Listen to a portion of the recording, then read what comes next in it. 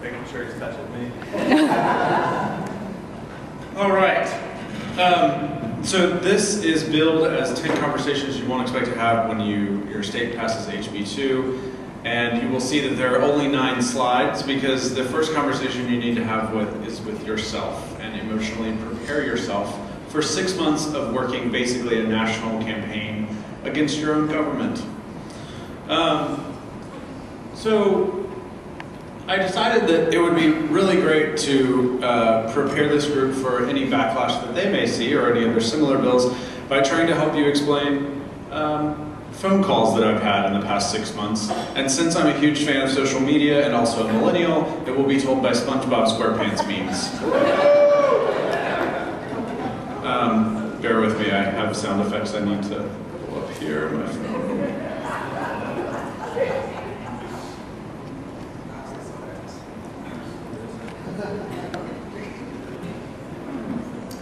Okay.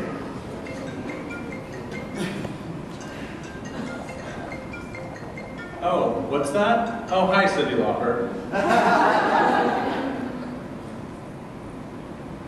In just a couple of hours, Cyndi Lauper will take the stage in Raleigh. Now, a number of stars have canceled events in our state following the passage of HB2. But CBS North Carolina's Lauren Haviland sat down with Lauper to find out why she decided to perform.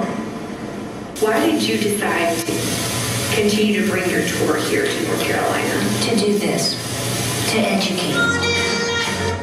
So Cyndi reached out to us through the True Colors Fund, which is a nonprofit that she started to help reduce youth homelessness. Um, and the executive director of that fund and us had, uh, as well as um, uh, the Human Rights Campaign, had like six months of conversations about bringing Cyndi to Raleigh. And it really culminated in this really simple moment where she was able to come to a local LGBT center and meet with local trans youth and talk about her opposition to the bill while also holding a fundraiser for Equality North Carolina later that night at her concert.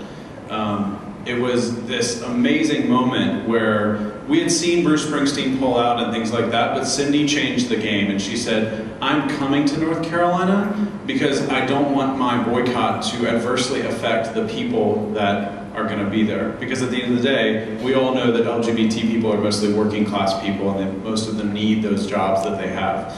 So Cyndi really changed the game and allowed people the opportunity to say, you can still come to North Carolina, but while you're there, we want you to invest in North Carolina and to invest in the people and groups that are making North Carolina better. And then that was our reaction after that happened. so I'm not going to play the phone or anything again, but um, so this is a conversation with uh, Dr. Reverend Barber, who many of you know is the uh, state president of the North Carolina NAACP. North Carolina made headlines this week for enacting one of the country's most draconian anti-LGBT laws. Now, most of the outcry has been surrounding the effect of the legislation on the LGBT community. The law is so severe that it states that most that the state's most prominent newspaper, the Charlotte Observer, has compared Governor Pat McCrory to the likes of George Wallace, Orval Faubus, and Ross Barnett, all Southern governors known for their support for segregation.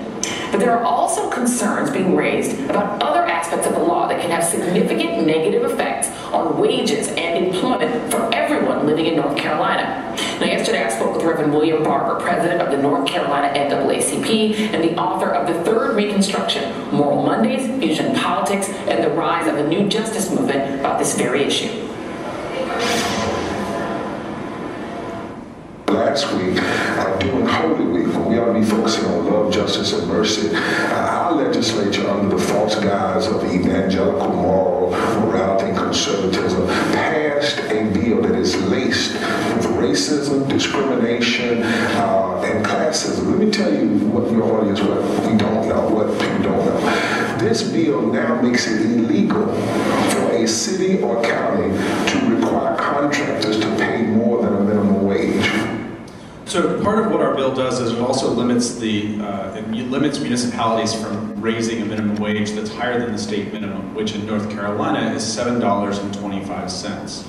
We find that just as egregious as the anti-trans and anti-LGBT and anti-everyone pieces of HB2.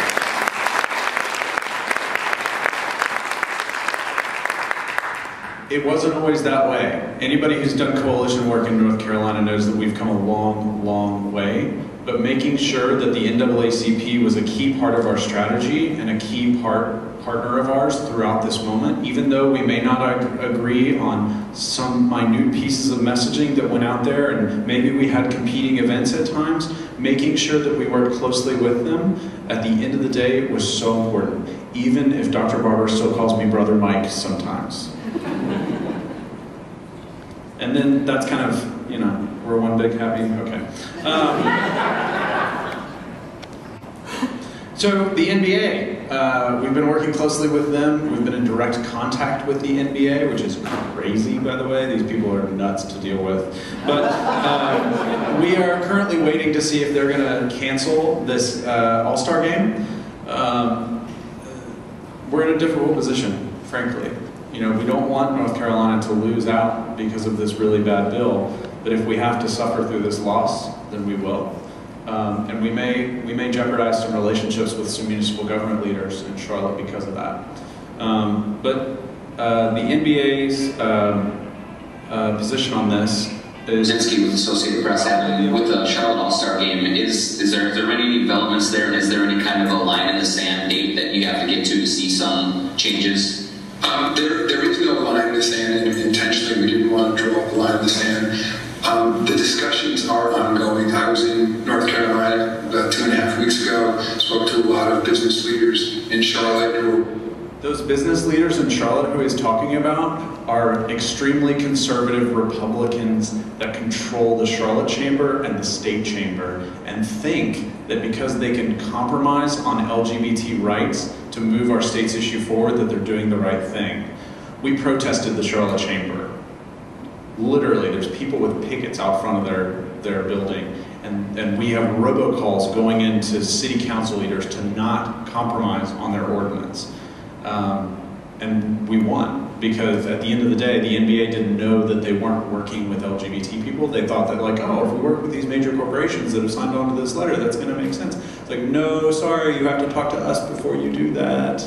Um, so we're able to. do- We're still we're, we're still keeping tabs on the NBA. So we'll learn more about this in the sports forum later. But really, if somebody comes into your state and is making big waves and they're not talking to you about it, that's a problem. So that's us trying to hold up the NBA. All right, phones ringing.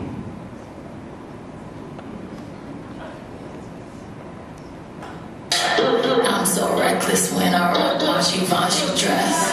I'm so possessive, so I look kiss rock necklaces.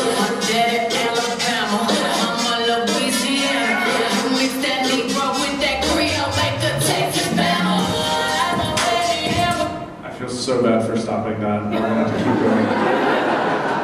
Um, so um, we, everybody, so we, we, we had started receiving gifts from, from entertainers. We had started hearing people make statements, and we were working with a lot of groups to do both of those things.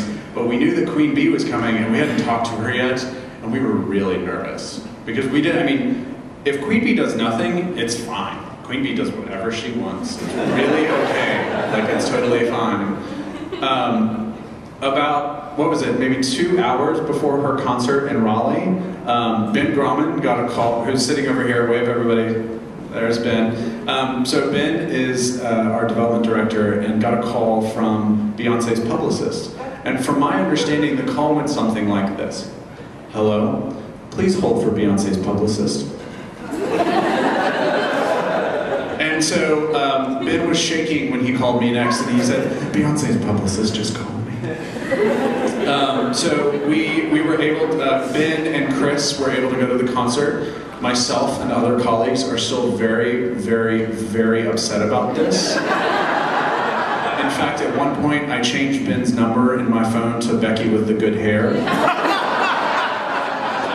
Um, but here is a picture which North, Equality North Carolina now has the rights to use whichever way we want of Beyonce wearing one of our t-shirts.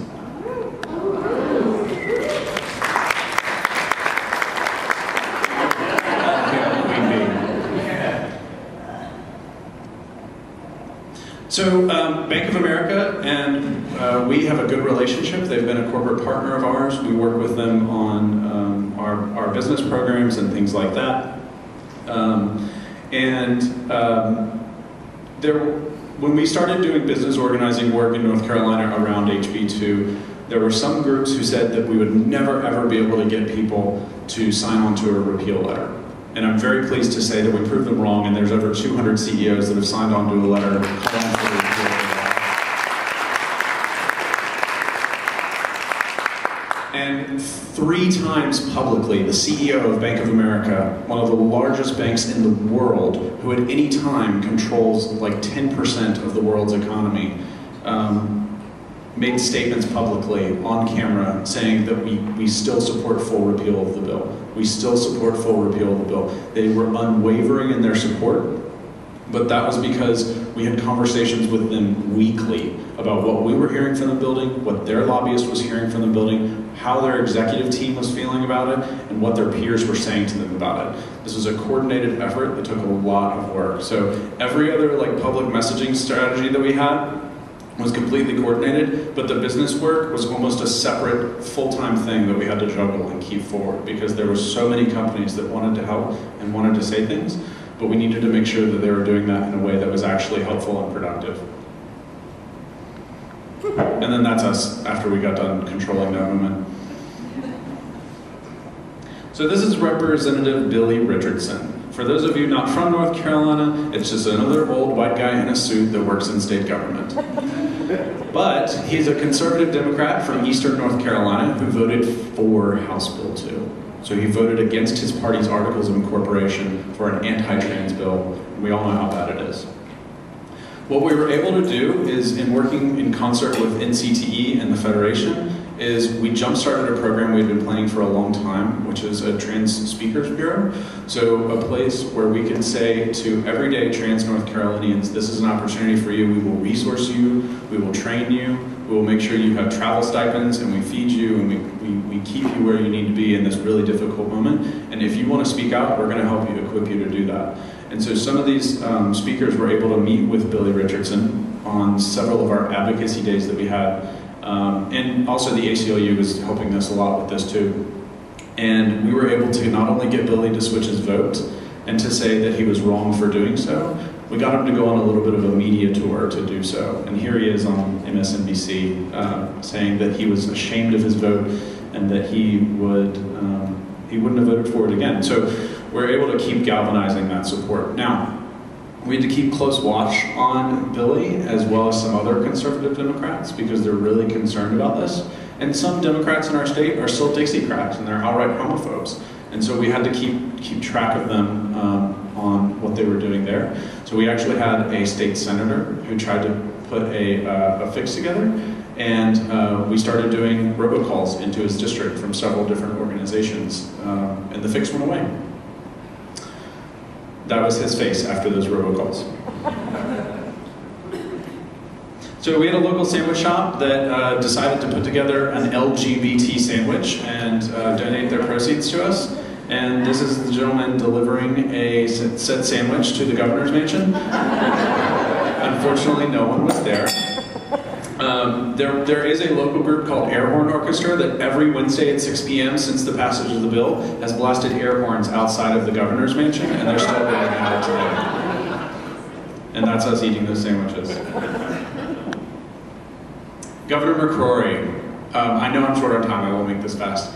Um, so um, this is uh, Candace Cox Daniels. She is a board member um, and an absolutely fabulous trans woman of color who actually met with the governor of North Carolina after the passage of House Bill 2. We were there to deliver, deliver that letter from the CEOs. We did not expect him to actually be there. We thought he was out. His chief of staff actually came out to greet uh, Chris and Chad and Candace, and he welcomed them into the governor's office. And um, we were actually able, for the first time uh, to, that we know of, to have a sitting governor meet with a trans person about House Bill 2. He didn't change his position, but we hear that he's really, really uncomfortable around trans people right now because he knows what a shitty thing he did in making their lives terrible because he actually had to sit down and look somebody in the face and understand what he did. Um, And so we stand by that.